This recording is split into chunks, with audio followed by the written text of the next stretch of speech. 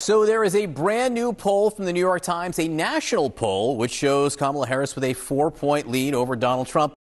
Una nueva encuesta del New York Times, Siena Poll, Siena College, bueno, pues tiene ahora mismo a la vicepresidenta Kamala Harris liderando las encuestas a nivel nacional por unos 3 a 4 puntos por encima del expresidente Donald Trump. Les voy a mostrar cómo y por qué está ella liderando las encuestas de manera consistente desde que lanzó la candidatura, cuáles son las variables y los factores clave que están, diríamos, mostrando esto y además la importancia que tienen las encuestas, cuál es el margen de error, hasta qué punto le debemos y podemos creer. Todo eso lo vamos a ver en este video y cuál va a ser el escenario si las cosas se dan como dicen las encuestas al día de hoy, cuál sería el escenario y quién ganaría las elecciones entre Trump y Kamala Harris. ¿Qué tal? Les saluda Rafael Bello, gracias por la sintonía. Recuerda por favor darle me gusta al video, sígueme en las redes sociales como Rafael Bello TV, dale me gusta, suscríbete al canal que muchas personas están llegando y no se han suscrito. Por favor suscríbete y vamos de inmediato con la información, porque aquí no hay tiempo que perder. Kamala Harris está ahora mismo mostrándose, yo diría que con una, un ligero margen hasta cierto punto cómodo no es tan cómodo porque Joe Biden estaba ganando por casi 10 puntos según las encuestas en el 2020 y ganó por 3 o 4 puntos a nivel nacional al final, cuando ya se dio la elección. Pero mientras tanto, el New York Times Siena College dicen que Kamala Harris está ganando entre 3 a 4 puntos de ventaja. Y si vemos lo que dice la tabulación de esta encuesta, dice 49-46, viendo ahora en esta, en esta estadística, está ganando con los decimales sería casi 4 puntos Kamala Harris sobre Trump a nivel nacional. ¿Qué significa esto? ¿Quiénes están impulsando la candidatura de Kamala Harris? Si vemos las edades, entre 18 a 29 años, la gran mayoría de Kamala Harris tiene entre 18 a 29 años, o sea, la juventud estaría votando por ella según la encuesta, pero también una minoría, una mayoría también, diríamos casi mayoría de hombres y mujeres entre 30 y 44 años, que son todavía hasta ciertos puntos jóvenes. Yo tengo 44 y me siento muy joven, pero entre 18 a 64 años es el voto duro de Kamala Harris. Ahora bien, Fíjense, para Donald Trump el 37% de esos tienen, son, son, los que tienen menos de, de, 29 años, entre 18 y 29 años, pero el voto más duro es el adulto. Pero si vemos esta otra estadística, moviéndonos a la derecha, aquellos que tienen un título universitario, el 60% está votando por Kamala Harris, el 37% por Donald Trump. Aquellos que no tienen título universitario, 33% por Kamala Harris, que son blancos, y 63% blancos sin título universitario por Donald Trump. Les quiero recordar que hicimos un video específicamente sobre eso. Dejo ahí arribita, ahí arribita el link para que lo vean, pero aquí está un, un, un cortito. How about all voters with a college degree? It's basically the same story. It's historically high support for a Democratic candidate. You see right now Kamala Harris leads in the polls by 21 points. 21 puntos por encima de su adversario, dígase de Donald Trump. O sea, ella le lleva 21 puntos en las encuestas cuando involucrando a, los, a las personas de, ese, de esa muestra, los que fueron a la universidad y se graduaron y tienen títulos universitarios o más allá, 21 puntos le lleva a Donald Trump. Biden le ganó en esa demografía, en ese grupo, por 18 puntos en el 2020. Hillary, aunque perdió las elecciones, le ganó con 15 puntos a Trump en el 2016. Quiere decir esto que es un voto duro demócrata y ahora Kamala Harris está captando más estudiantes con nivel académico universitario. Ahora bien, ¿hasta qué punto esto puede ser beneficioso? Porque sí, estamos hablando de unas encuestas, que las encuestas tienen margen de error y si vemos cómo están, eh, ¿qué define? Estas son encuestas a nivel nacional.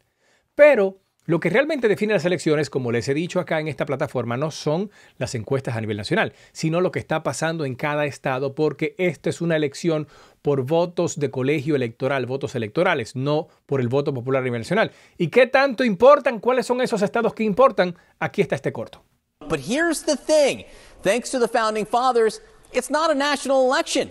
It's a collection of state elections. That's why these swing states are so important, not the national polling. What is the latest on where the swing states stand? Yeah, look, these are the battleground states, right? These are the seven we've been looking at. Ahí están los siete estados los siete estados clave que estarían mostrando cuál es el, el, escenario real y los que van a dar las elecciones a Trump o a Harris. En Carolina del Norte, Trump está liderando por menos de un punto porcentual. Ahí estoy mostrando con el cursor.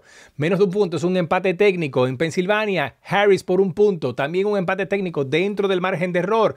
En Nevada, Harris por un punto ganando en las encuestas por dentro del margen de error. En Georgia, Trump por un punto, dentro del margen de error. Michigan, Harris por dos puntos. No, eso no es cómodo a nivel de encuestas. Dentro del margen de error. Arizona, Trump por dos puntos. Tampoco eso es cómodo. Está dentro del margen de error en Wisconsin. Harris por dos puntos dentro del margen de error. usted dirá, Rafael, pero ya me tienes cansado, cansada. Dentro del margen de error. ¿Cuál es el margen de error? Miren esto y lo explicamos en breve. How much do the state poll averages miss by? All right? The average error since 1972 in the close races in those battleground states we've been looking at, 3.4 points. 3.4 puntos porcentuales es el margen de error en el 95% de los casos en las elecciones que se han computado y de los y, también de, las encuestas. Quiere decir que si usted está ganando por 4 puntos, ya está fuera del margen de error. Usted si está ganando por 4 puntos, podría ganar por medio punto, por punto 6 puntos porcentuales. Si está ganando por 5 puntos, podría ganar por, por un punto y medio. O sea que hay que contemplar que 3.4 puntos porcentuales viran la torta para cualquiera de los, los dados. O sea, digamos que en una situación como esta, que Kamala Harris está perdiendo Carolina del Norte por un punto, el margen de error son 3.4 puntos porcentuales. Ella podría ganarla por dos puntos o podría perderla por cuatro puntos, agregándole a ese punto esos 3.4 puntos porcentuales. Y el 5% de las muestras y de las elecciones está el margen de error por encima de 5 puntos a 9.4 puntos porcentuales, como mostraba Harry ¿Qué quiere decir esto? Si nos llevamos de las encuestas como están ahora mismo, sin margen de error, y en este mapa electoral, fíjense, ahí Kamala Harris tiene 226 votos electorales y Donald Trump 219, que son los estados que ya se pueden asegurar prácticamente que van a, porque están muy por, muy, muy por encima del margen de error. ¿Cuáles estados están ahí bailando un merenguito bien pegadito? Vemos ahí a Carolina del Norte, Trump ganando por un punto. Si las cosas se dan como dice ahí, le damos a Carolina del Norte a Trump, entonces Donald Trump tendría esos 15 votos electorales, 16 votos electorales de Carolina del Norte, 235. Pero Michigan está ganando Harris por dos puntos, como vemos aquí. Entonces a Michigan se lo damos a la candidatura de Kamala Harris, sube 241. Volvemos al, mapa electoral, eh, a los estados. Pensilvania, Harris por un punto. No vamos a considerar el margen de error. En breve viene ese otro ejercicio. Estaría entonces ganando Kamala Harris, Pensilvania, y entonces le damos 260 votos electorales. Si volvemos otra vez, que dice en Arizona, Trump por dos puntos, entonces aquí le damos en Arizona al Partido Republicano. Bien, si vamos a Nevada, Harris por un punto, entonces vamos a Nevada y le damos a Nevada al Partido Demócrata, ya tiene 266 votos electorales. Hay que ir contando. Si le damos a Wisconsin, a Kamala Harris, que está ganando por dos puntos, entonces Kamala Harris en Wisconsin, ya con eso sería la presidenta de los Estados Unidos porque tendría 276 votos electorales. Y todavía faltaría Georgia, que en este caso lo está ganando Trump por un punto. Si le damos a Trump Georgia, de todos modos, ya Kamala Harris tendría la presidencia de los Estados Unidos porque ganaría con 270 votos electorales o más, según las encuestas. ¿Qué tal si tomamos ahora en cuenta el margen de error?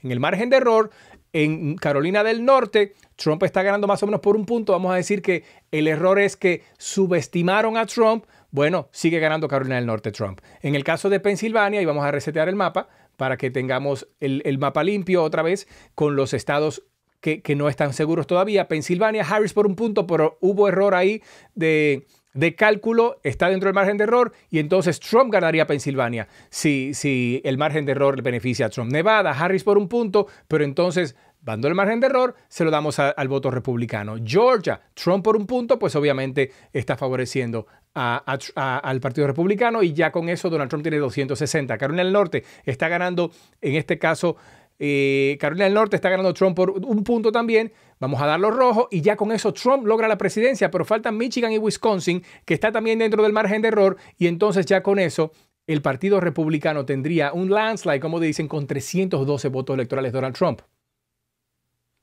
porque el margen de error estaría considerado en este caso. Pero si consideramos el margen de error inverso, dígase que donde hay menos de, dos puntos porcentuales, o dos puntos porque está por debajo de los 3.4, Nevada está ganando Harris por uno, vamos a decir que el margen de error beneficia a Harris. En Arizona está perdiendo eh, por dos, pero el, el, margen de error es 3.4, quiere decir que estaría dentro del margen de error. Y si beneficia a Harris, ya tendría esos 11 votos electorales. En Georgia está ganando Trump por 1, pero el margen de error son 3.4. Si se lo damos a azul, 259. Carolina del Norte por igual también está Trump ganando por menos de un punto. Si el margen de error beneficia a Kamala Harris, entonces ya estaría llegando a 275. En Pensilvania está ganando ella por un punto, más el margen de error 4.5 puntos porcentuales. En Michigan por igual y en Wisconsin por igual. Entonces en ese escenario, si el margen de error beneficia porque subestimaron como sucedió en el 2022, las encuestas subestimaban el logro demócrata y terminaron ganando más sillas en el Senado y en el Congreso o manteniendo de las que estaban diciendo las encuestas. Esto también podría pasar en el 2024 en noviembre. Señores, ¿qué quiere decir esto? Que estos estados están dentro del margen de error quiere decir que va a ser una competencia que nadie puede decir que fulano o fulana, que Harris o que Trump están ganados porque no es seguro esto. Las encuestas solamente nos dicen cómo lucirían las cosas, pero cuando lleguen los votos y se cuenten, ahí el margen de error ya no existe. Es la efectividad de contar los votos y quien tenga más votos gana cada estado y 48 de los 50 estados le dan todos los votos del colegio electoral de ese estado al que gane el voto popular en cada estado. En otras palabras, el día 5 de noviembre empieza este proceso democrático ya electoral de votar y cuando tengamos los resultados de los 50 estados, sabremos quién será el presidente o la presidenta de los Estados Unidos. Me gustaría saber qué opinas tú al respecto. Por favor, déjame tu, pensar en la barra de comentarios, dale me gusta, suscríbete al canal, por favor, que estamos rumbo, vamos rumbo a los 60 mil suscriptores, queremos llegar a los 100 mil para el día de las elecciones. Vamos, apóyame con eso y además también recuerda que está nuestro número de WhatsApp, el 914-502-9222. Nos vemos mañana a las 5 de la tarde en vivo. Estamos otra vez volviendo a nuestros directos, a, los, a las transmisiones en vivo. 5 de la tarde hora Nueva York, hora del este de los Estados Unidos. Nos vemos allí y además también en los videos a través de Rafael Bello TV.